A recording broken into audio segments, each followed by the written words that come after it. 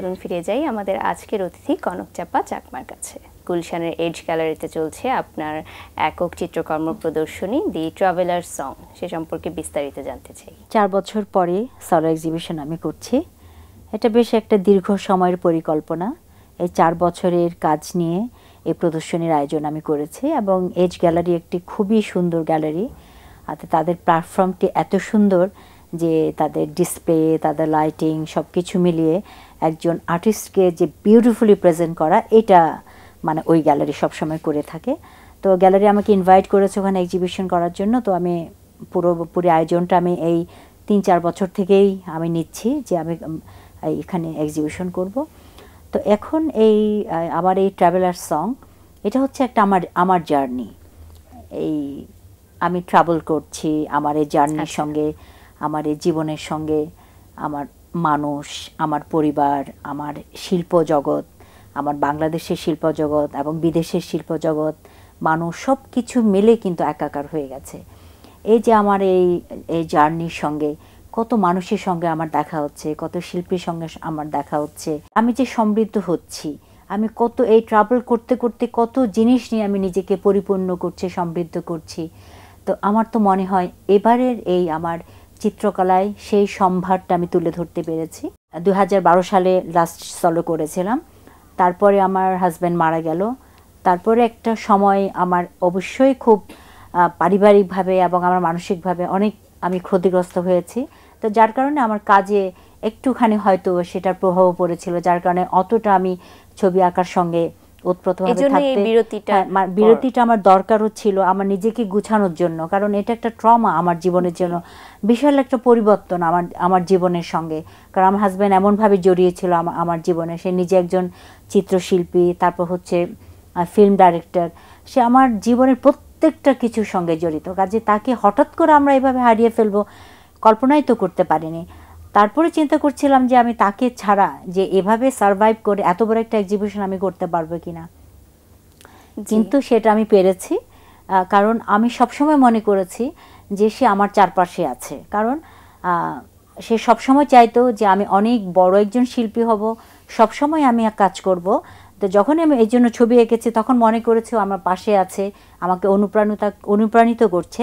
যার কারণে কিন্তু আজকে আমার এই এত বছরের পরে যে একটা এত বড় প্রদর্শনী সেটা আমি খুব সাকসেসফুল ভাবেই করতে পারলাম। গুণী শিল্পী খালিদ মাহমুদ মিঠু স্যারকে আমরা শ্রদ্ধা ভরে স্মরণ করছি এবং বুঝতেই পারছি যে আপনার প্রতিটি কর্মে তিনি আপনাকে কতটুকু সহযোগিতা করেছিলেন। কতটি চিত্রকর্ম প্রদর্শন হয়েছে এই গ্যালারিতে? ছয়ষট্টিটি কাজ আছে। অনেক বড় থেকে ছোট সাইজেরও আমি কাজ করেছি। বড়টা যেমন বলব বেশ বড় ছয় ফিট বা সাত ফিট। এরকম আচ্ছা। দুটো কাজ আছে তারপর ছয় ফিট বাই ছয় ফিট দুটো কাজ আছে। তারপর মানে ক্রমশ ছোট। কত সময় লেগেছিল এগুলো করতে দিদি? এগুলো আমি পুরো বললাম না যে তিন বছরের প্রিপারেশন নিয়ে আমার এই কাজটি। তারপর সব সর্বনিম্ন সাইজটি হচ্ছে আমার দেড় ফিট বাই দেড় ফিট বিভিন্ন সাইজের আমি কাজ রেখেছি। এজন্য যে বিভিন্ন সাইজের কাজ রাখলে মানুষের কালেকশন করতেও সুবিধা হয়। কারণ সবার পক্ষে সম্ভব না। যে বিশাল বিশাল কাজগুলো বাসার মধ্যে সংগ্রহ করে রাখা। এটা বড় বড় অফিস বা কনফারেন্স রুমে এটা হত- থাকতে পারে। যাদের অনেক বড় হল রুম আছে তারা রাখতে পারে। আর ছোট ছোট কাজও আমার মনে হয় মানুষের অনেক আগ্রহ তৈরি করে ছোট কাজে। অনেকেই আমার কাজ পছন্দ করে কিন্তু তাদের অনেক বড় কাজ নেওয়ার এরকম কোনো মানে সম্ভব না তাদের পক্ষে। তখন তারা ছোট কাজটি কালেকশন করল। এই কারণে আমি অনেক চিন্তা করে বিভিন্ন সাইজের কিন্তু কাজ রেখেছি যার কারণে এটা আমার এবারের রেসপন্সটাও কিন্তু অনেক ভালো আমার এক্সিবিশনে যারা শিল্প রসিক আছেন তারা কিন্তু অনেক অধীর আগ্রহে অপেক্ষা করছিলেন আপনার একক প্রদর্শনীর জন্য। তো তাদের অনুভূতিটা কি আপনাকে আবার দীর্ঘ বিরতির পর ফিরে পেয়েছে? তাদের প্রতিক্রিয়াটি কেমন? আসলে এক্সিবিশনটা আমি করছি এটা চার বছর পরে কিন্তু আমার এক্সিবিশনটা প্রস্তুতি ছিল তিন বছরের কাজ নিয়ে। ছবি পছন্দ করেন আমার বায়ার্স ভিউয়ার্স যারা অ্যাডমায়ার ওনারা আসছিলেন বাসায়। তো তখন তখন থেকে ওনারা কাজ কালেকশন করতে চাচ্ছিলেন। তো আমি বলছি যে না আমি এখন কোনো কাজ আমি বিক্রি করব না। আগে প্রদর্শনী। আমি একটা প্রদর্শনী করব। ওখানে আমি চাই যে ভালো কিছু কাজ দিতে যাতে সবাই দেখতে পারবে ওখান থেকে আপনারা কালেকশন করবেন। এই যে তাদের যে আগ্রহ সবসময় ফোন করা বাসায় আসতে চাওয়া আমার স্টুডিওতে এসে আমার কাজ দেখবে আগে আগে তারা ভালো কাজগুলো নিয়ে যাবে।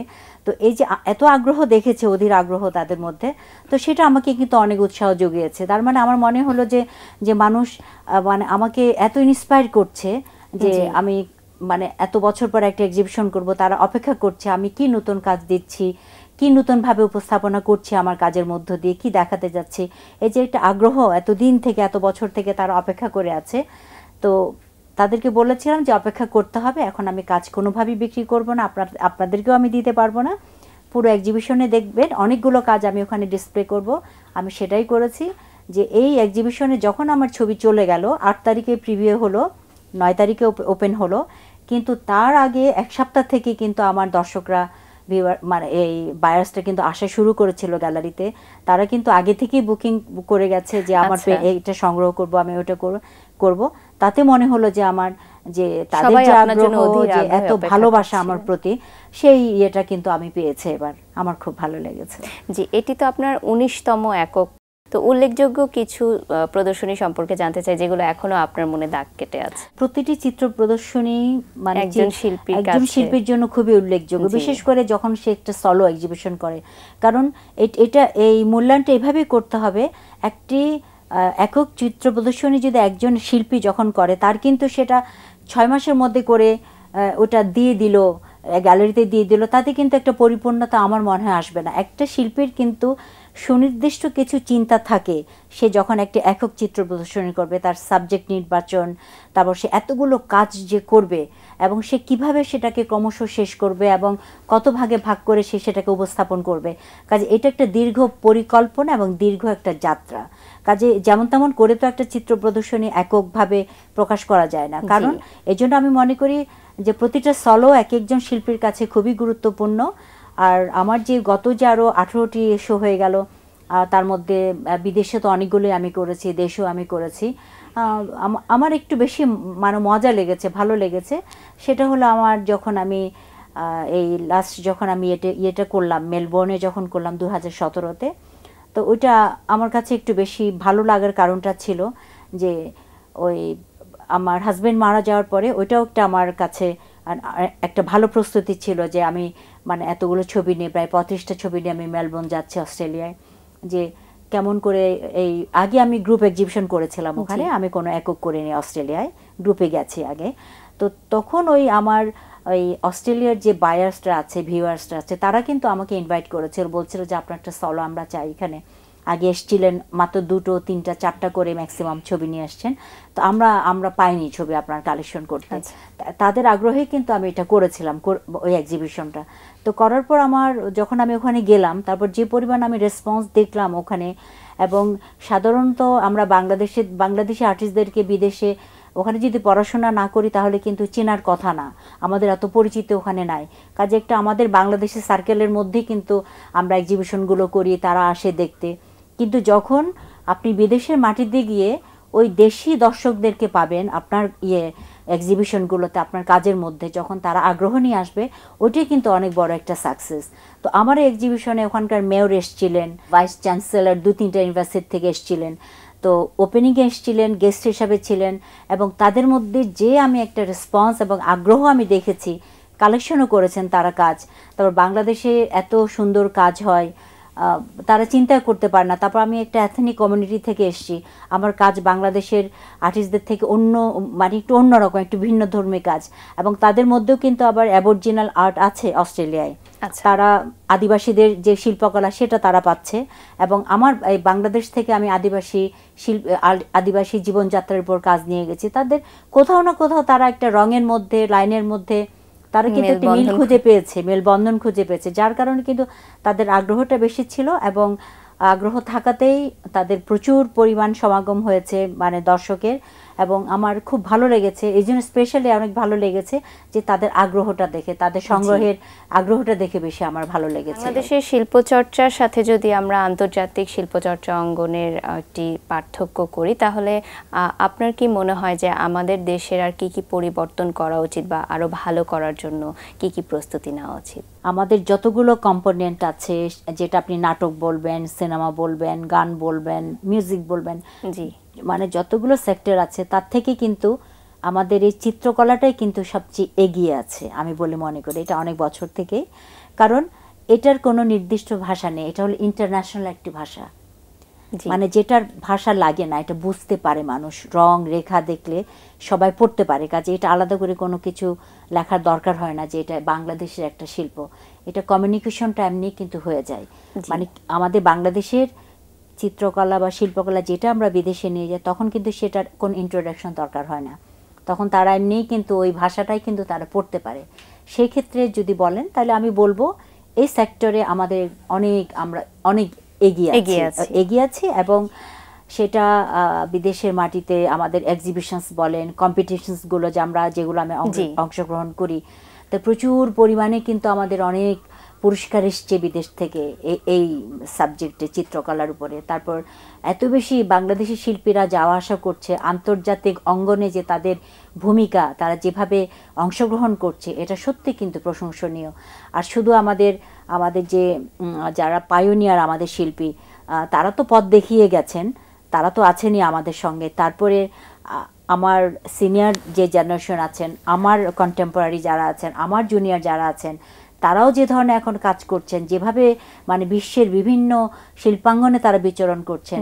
তাতে কিন্তু অবশ্যই প্রশংসনীয় কিন্তু আমার মনে হয় না যে আরও অন্য কোনো রকমভাবে ভূমিকা দেওয়ার দরকার আছে যে আরও কি করলে বেটার হবে এটা অলরেডি মনে হয় আমরা ঢুকে যেতে পেরেছি। আপনার এত কাজ আমরা পেয়েছি এবং আপনি যেমনটি বলছিলেন যে দর্শক ভক্ত অনুরাগীরা অনেক অপেক্ষা করে আপনার নতুন কাজের জন্য। তো সামনে কি কাজ পেতে যাচ্ছি আমরা আপনার কাছ থেকে? এখন তো বেশ বড় একটা এক্সিবিশন আমি করলাম যেটা অনেক বছরের আমার একটা পরিকল্পনা একটা ফসল। তো এই তিন চার বছরের মধ্যে আমার আর মানে অনেক বড় একটা সলো করার কোনো ইচ্ছা নেই। অনেক প্রদর্শনী আছে যেগুলো দেশে হবে, বিদেশে হবে ওগুলোতে আমি অংশগ্রহণ করব। হয়তো সেই সঙ্গে আমি যাব তাহলে গেলে হয় কি অনেক আর্টিস্টের সঙ্গে দেখা হয়, একটা ব্রেক হয়। এই মানে আপনার এই ইয়ের, আপনার আইডিয়ার এক্সচেঞ্জগুলো হয়। এগুলো অনেক জরুরি একজন শিল্পীর জন্য। অন্য একজন শিল্পী কী কাজ করছে, অন্য দেশের একজন শিল্পী কী কাজ করছে, সেটা আমরা জানতে পারি তাদের সঙ্গে যদি দেখা হয়। এজন্য কোনো এক্সিবিশনস হলে বাইরে তো সেখানে যদি যাওয়ার সুযোগ থাকে যেতে পারি। ওইটা আমি পছন্দ করি যাওয়াটা। গেলে আমার ভালো লাগে যে ওদের সঙ্গে মেলামেশা মানে আইডিয়াস এক্সচেঞ্জগুলো হয়। তো এখন আমার এই বড় ধরনের কোনো পরিকল্পনা নেই যে বাংলাদেশে যে আমি আরও কিছু এর মধ্যে করব, তাৎক্ষণিকভাবে আর কিছু করছি না। কারণ আমি সবসময় চিন্তা করি যে তাড়াহুড়ো করলে কোনো কাজ ভালো হয় না। আমি অনেক প্ল্যান করে এক্সিবিশনসগুলো করি যাতে নতুন কিছু, নতুন মাত্রা যাতে আমার যোগ হয় আমার কাজের মধ্যে সেই চিন্তাটাই থাকে। কাজে আমি এখন মানে আপাতত কোনো পরিকল্পনা নেই যে নতুন কিছু করার। কথা বলতে বলতে আমরা অনুষ্ঠানের প্রায় শেষ পর্যায়ে চলে এসেছি। আপনাকে অনেক অনেক শুভকামনা আপনার যাত্রার জন্য এবং তিরিশ নভেম্বর পর্যন্ত আপনার একক চিত্রকর্ম প্রদর্শনী চলছে আমাদের রাজধানী ঢাকার গুলশানের এজ গ্যালারিতে তো এই প্রদর্শনী দি ট্রাভেলার সং সম্পর্কে দর্শকদের যদি কিছু বলতেন। বেশি বেশি করে প্রদর্শনী দেখবেন। শুধু আমার প্রদর্শনী দেখতে আমি বলছি না যখনই যেখানে প্রদর্শনী হবে সেখানেই দেখা উচিত। কারণ আমি নিজের মন থেকে যেটা আমি আমি ফিল করি যেটা আমি বলিও সব সময় একজন শিল্পীর জন্য কিন্তু একজন দর্শকের অনুপ্রেরণা ভালোবাসা অনেকখানি কাজ করে। অবশ্যই। একজন দর্শক এসে যদি বলে যে আপনার আমার এই কাজটা এত ভালো লেগেছে আপনি একটু বলুন না আমাকে কীভাবে করেছেন এই রংটা কেমন করে দিলেন এই লাইন্সগুলো কেন আসলো? আমি এত পছন্দ করি আপনার কাজ আপনার কাজের এক্সপ্রেশনটা আমার এত ভালো লাগে। তখন আমার সত্যি আমি এত বেশি ইন্সপায়ার্ড হই আমি নিজে যে এত, একজন দর্শক আমাকে ভালোবেসে কথাগুলো বলছে, আমার মনে হয় এটা একজন শিল্পীর জন্য অনেক বড় পাওয়া এবং তারা যদি আরও বেশি বেশি করে এক্সিবিশনগুলোতে আসেন, যে আমি বলব না যে ছবি সবাইকে কিনতে হবে বা সবাইকে মানে সংগ্রহ করতে হবে আর সবার সেটা পক্ষে সম্ভব না। কিন্তু আসলে অনেক ভালো লাগে, তারা যেন উপস্থিত হন এবং শিল্পীর সঙ্গে কথা বলেন। যে এই যে যোগাযোগটা এই যোগাযোগটা অনেক জরুরি। একটা শিল্পীর জন্য এটা অনেক বড় অনুপ্রেরণা। আশা করব যারা এখনও পর্যন্ত যাননি আর আরও কিছুদিন বাকি আছে তারা যাবে এবং উপভোগ করবে আপনার চমৎকার প্রদর্শনীটি। আপনাকে অনেক অনেক ধন্যবাদ আমাদের আজকের অনুষ্ঠানের অতিথি হয়ে আসার জন্য। আমাকেও আজকে এখানে আমন্ত্রণ জানানোর জন্য অনেক ধন্যবাদ জানাচ্ছি আপনাদের সবাইকে। প্রিয় দর্শক, এতক্ষণ কথা হচ্ছিল অতিথির সঙ্গে। এবার সময় হলো বিদায় নেবার। আমাদের অনুষ্ঠান সম্পর্কে আপনার যে কোনো মতামত ও পরামর্শ জানাতে লিখুন এই ঠিকানায়। প্রযোজক দিন প্রতিদিন, বাংলা ভিশন নূর টাওয়ার, একশো দশ বীরুত্তম সিআর তত্ত্ব রোড, ঢাকা এক দুই শূন্য পাঁচ। ফোন নয় ছয় তিন দুই শূন্য তিন শূন্য থেকে চার। আমাদের ইমেল অ্যাড্রেস দিন প্রতিদিন at Bangla vision dot TV ভারতীয় দার্শনিক চাণক্যের একটি উক্তি বলে বিদায় নেব আজ। তিনি বলেছেন, কর্কশ কথা অগ্নিদাহের চেয়েও ভয়ঙ্কর। প্রিয় দর্শক, সবাই ভালো থাকুন, সুস্থ ও সুন্দর থাকুন। আজ সারাদিন সবার জন্য শুভ ও কল্যাণময় হোক।